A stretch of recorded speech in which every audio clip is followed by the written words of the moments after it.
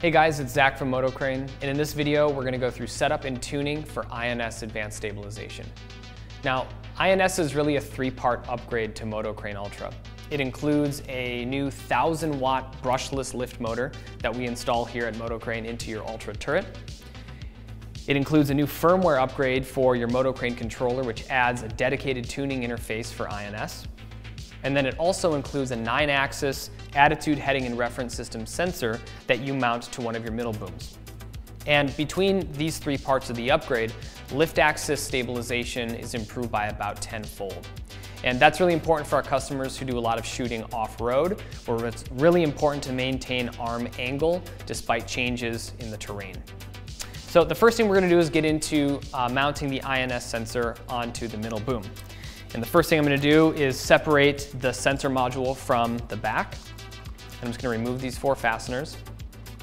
All of the information included in this video is also detailed in the INS operation manual, which we will include a link in the description of for this video so you can follow along. So I'm gonna make sure that I'm working on the correct side of the middle boom, which is gonna be the male side that has the clip, not the clip receiver, which is gonna get installed onto the fulcrum. So make sure you're on the correct side and then measure 45 millimeters, which is just under two inches from the inside of this weld. And that's gonna be the distance that we're gonna mount the INS sensor away.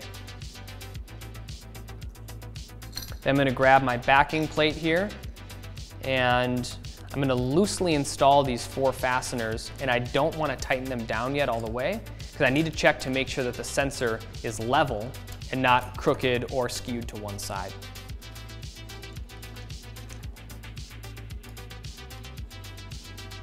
So now using a bubble or a spirit level, I'm just gonna place this right on top of the sensor module itself and just make sure that I'm not rolled towards one side of the boom. I wanna make sure that it's level. So I was pretty close there. And now that I have it level, I'm gonna tighten down the rest of my fasteners. I'm gonna check one more time just to make sure. Looks like we're spot on. And now that I have my INS sensor mounted onto my middle boom, I'm able to proceed with the rest of the build and then we'll get into tuning.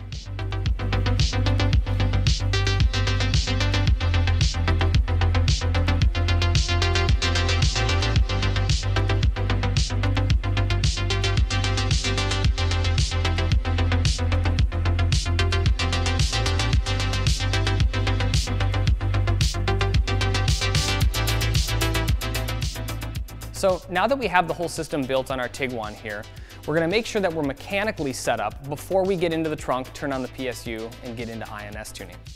The first thing that we're gonna prepare is making sure that our passive isolator here is tuned all the way slow, which is to say that the Z-axis dampening is all the way stiff. And we're gonna do this with respect to how the INS operation manual describes the relationship between INS tuning and passive isolation. If our passive isolator is tuned too fast or too soft, it's gonna cause our system to be prone to oscillations because of this flex here at the end. Now, once our isolator is set as we need it to, we're gonna do a mechanical check on the Ultra base. We're gonna check every fastener to make sure that everything is tight, that our speed rail clamps are torqued down because any kind of slop is gonna, again, cause our system to be prone to oscillations during tuning.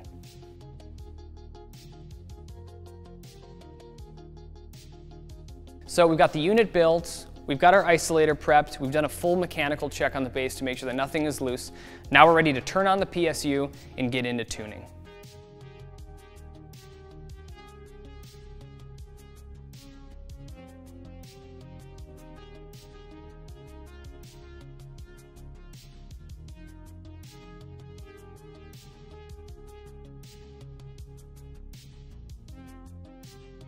So now that I have the unit powered on, I'm able to navigate to the INS tuning interface on the MotoCrane controller. And I can find that under Settings, Advanced Settings, and then INS Stabilization Configure. And this is that new tuning interface that gets added during the firmware upgrade. And on the left-hand side of the screen, we can see the INS sensor status, and then also monitor real-time performance of stabilization.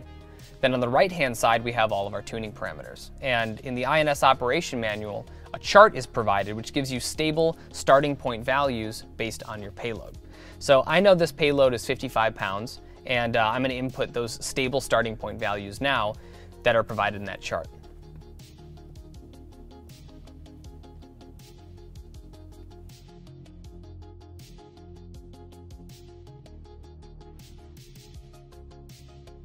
So now that I have my default or my starting point values input into my tuning, I can turn INS stabilization on. And what this screen is going to remind me of is that when I turn INS on, limits are going to be in absolute mode, meaning that it's going to control the range of motion based on the real angle of the arm and not relative to the vehicle. So there's a lot more information on that in the operation manual. Make sure you dig into it and make sure you understand it. We're going to confirm, and now INS is on.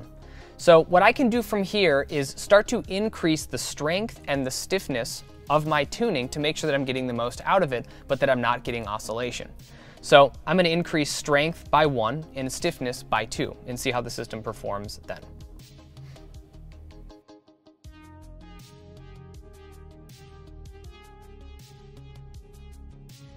I'm going to continue to increase strength and stiffness until I start to see the end of the arm oscillating or the controls become not so smooth. So I'm going to take my strength from 6 to 7 and my stiffness from 12 to 14. And I'm getting a little bit of oscillation there, so I think I'm getting into that point of, of uh, where I'm kind of reaching the upper end of the tuning. I'm gonna push it just to make sure that I get a steady oscillation so we can show you here on film. So I'm increasing my strength from 7 to 8, and then my stiffness from 14 to 16.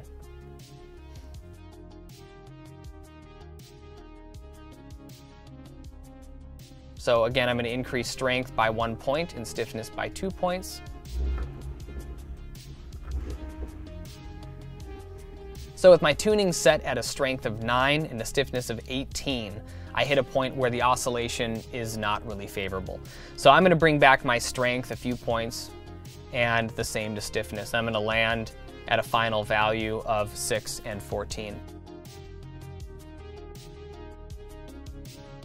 And this is gonna be specific to your setup and is really payload dependent. So again, make sure that you experiment with this to make sure you're getting the most out of tuning without getting to a point of oscillation and unstable controls.